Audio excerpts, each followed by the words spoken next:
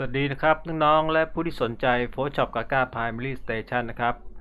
ชั่วโมงนี้เราจะมาเรียนรู้เกี่ยวกับเครื่องมืออในลำดับที่ 3 หมวดที่ 7 นะครับ ชื่อว่า Pad Tool นะครับ ซึ่งเดี๋ยวเราเปิดไฟล์ภาพขึ้นมาก่อนนะครับ ไฟล์ภาพเราได้ดาวน์โหลดมาแล้วก็ตอนนี้นะครับ เดี๋ยวเราจะทำการเคลื่อนย้ายนะครับ Object นะครับ คือลบออกไปเลยนะครับลบออกเลยโดยเครื่องมือแพดทูลเดี๋ยววิธีการจะเป็นอย่างนี้นะครับเราซูมเข้าไปนะครับ หาตำแหน่ง ที่เราต้องการนำออกนะครับ จากนั้นก็คลิกที่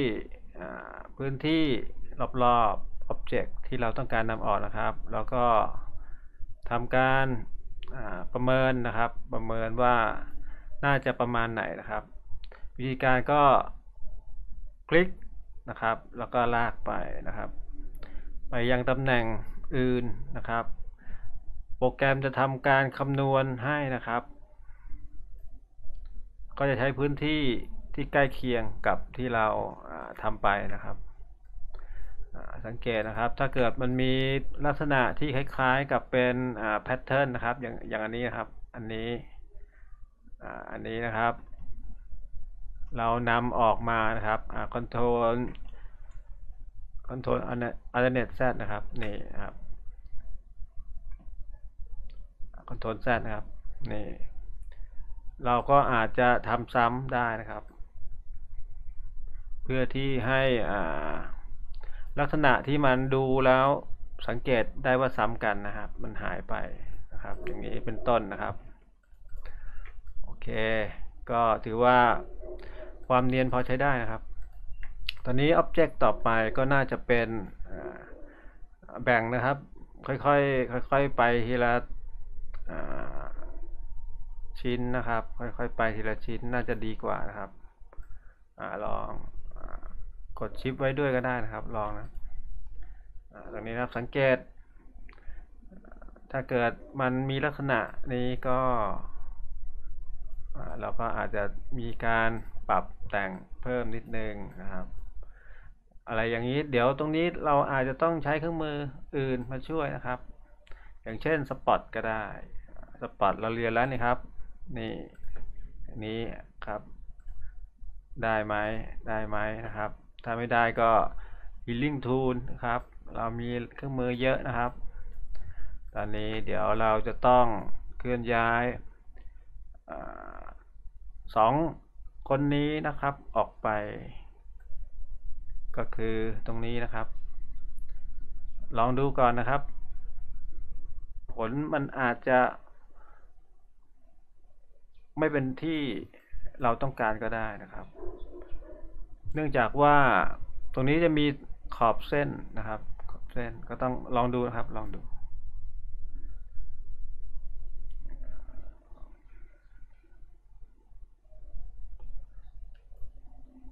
ครับ ก็จะมีโกดนิดนึงนะครับ ตรงนี้นะครับตรงนี้ ซึ่งแน่นอนครับ บางกรณีมันจะไม่เพอร์เฟกนะครับ เราก็เอาเครื่องมือที่เราเรียนมานะครับ healing tool นะครับ healing bud tool นะครับ อย่างเช่นตรงนี้นะครับ แล้วก็ทำการ select ตรงนี้นะครับ พื้นที่เป้าหมายที่เราจะนำแทนนะครับ อลองดูนะครับได้ไหม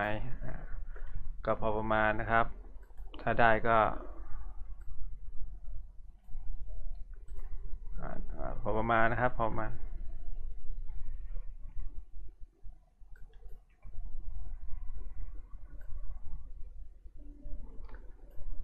ยิ่ง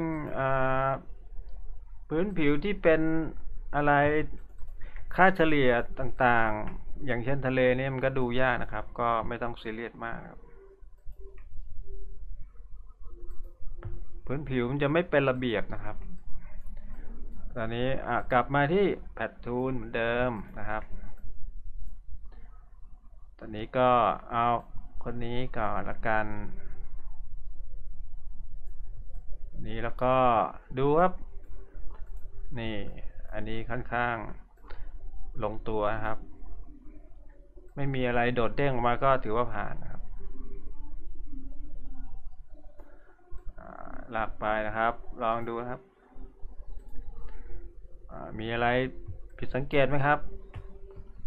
ไม่มีนะครับ ไม่มีก็ถือว่าผ่านนะครับ โอเค ก็ต่อไปก็คนนี้นะครับ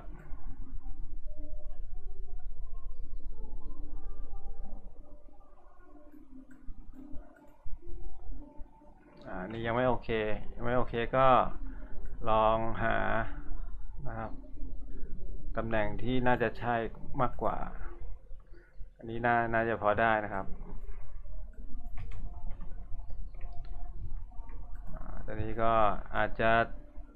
รบกวนเครื่องมือฮีลลิ่งมาช่วยนิดนึงนะครับ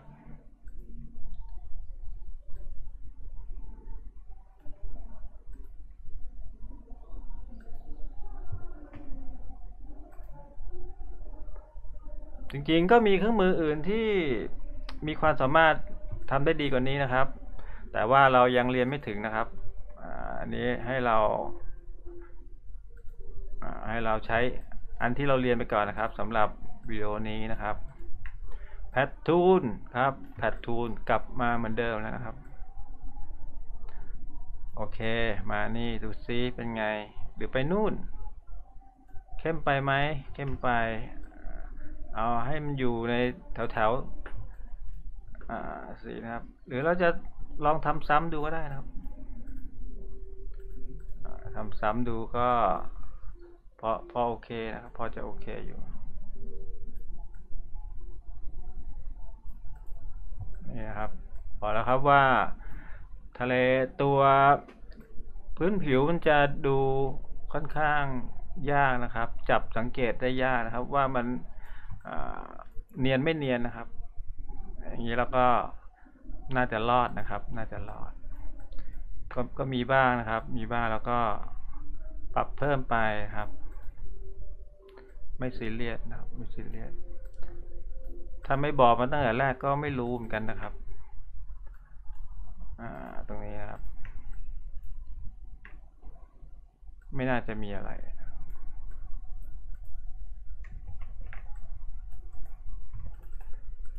อ่าต รงนี้แถมแถมหน่อยนะครับ ไม่รู้อะไรนะครับ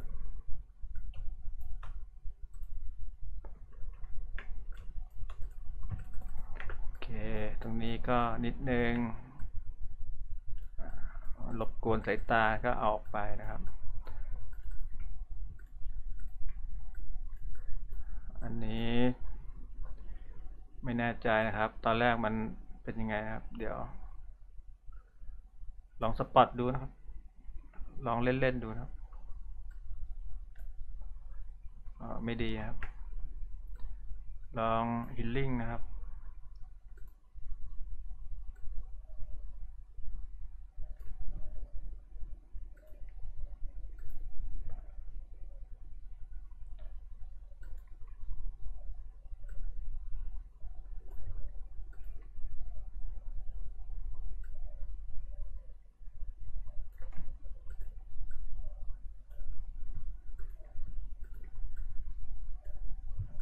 อ่า ไม่ซีเรียสนะครับ ไม่ซีเรียสพอประมาณนะครับนี่ครับ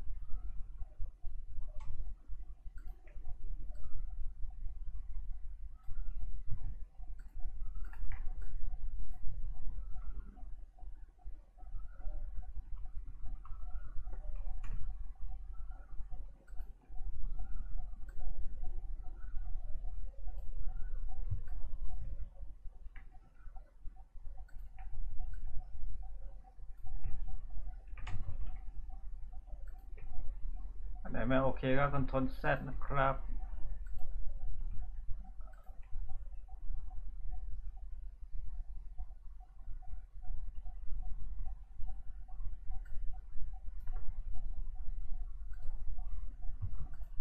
ถือว่าพอพอไปได้ครับพอไปได้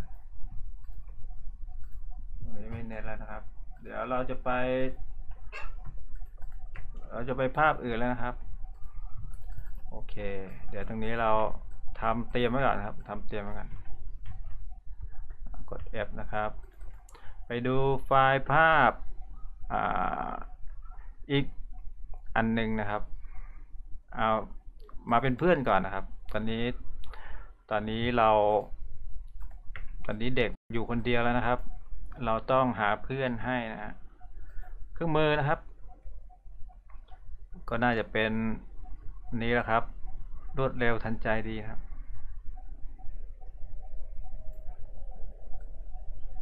แต่เดี๋ยวคงจะต้องมีลัดโซ่ทูลมาช่วยอย่างแน่นอนเลยครับ ดูท่าทางแล้วนะครับ เพราะว่า นี่ครับโลมายิ้ม ยิ้มน่ารักดีนะครับ โอเค เดี๋ยว ตรงนี้ช่องนี้คงต้องลัดโซ่แน่นอนเลยครับ เพราะว่า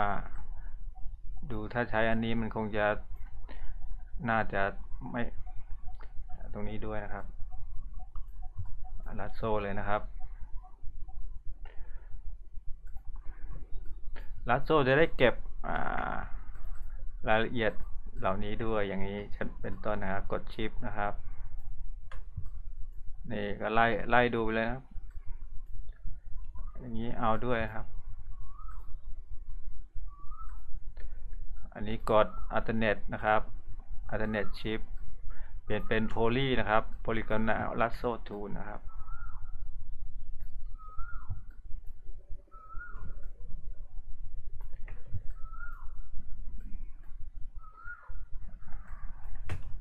อันไหน object สำคัญเราก็เน้นหน่อยนะครับ ปีก เรียกปีกเลยอะไรครับคีบเห็นมันบินบินนึกว่าเลยนึกถึงปีกเลยนะครับคีบเลยครับโลมาบินได้ครับ ปีกคีบ หรือมันจะเรียกอย่างอื่นก็ไม่ทราบนะครับ ตอนนี้โลมาไม่ค่อยได้ ไม่ค่อยได้เห็นนะครับ เห็นได้ในรูป อย่างนี้มันมีติดน้ำมาด้วยแล้วก็เอานะครับเผื่อมันจะมีประโยชน์ เดี๋ยวเราเอาไปแล้วเนี่ย มันก็จะมีการทำแมสไปด้วย เราปรับแต่งต่อเพิ่มเติมได้นะครับ เพิ่มลดได้ตอนหลังครับ อย่างนี้นะครับ เอาไปเลยนะครับ เอาทำการไดคัตไปเลย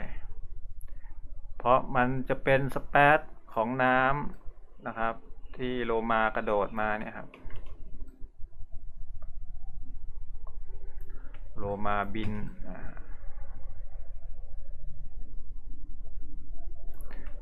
ใส่ไปเลยนะครับ จะได้เรียบร้อยไปทีเดียวอย่างนี้ก็เอาออก เนี่ย เห็นเห็นเลยท้องฟ้าเนี่ย ขอบไปเลยอันนี้ถือว่ามันเป็นไฟล์ที่ไม่ค่อยใหญ่มากครับ เราก็เลยต้องมีการคาดเดากันบ้างครับ อย่างนี้ก็ถือว่า เก็บได้นะครับ เก็บได้เก็บเลยครับ ถ้าเจอลักษณะนี้มันก็ทำให้งานของเรามันดูดูมีความละเอียดนะครับ อย่างนี้เป็นต้นเก็บได้ก็เก็บไปเลยนะครับ ไม่ได้ใช้เวลาอะไรนานมากฮะ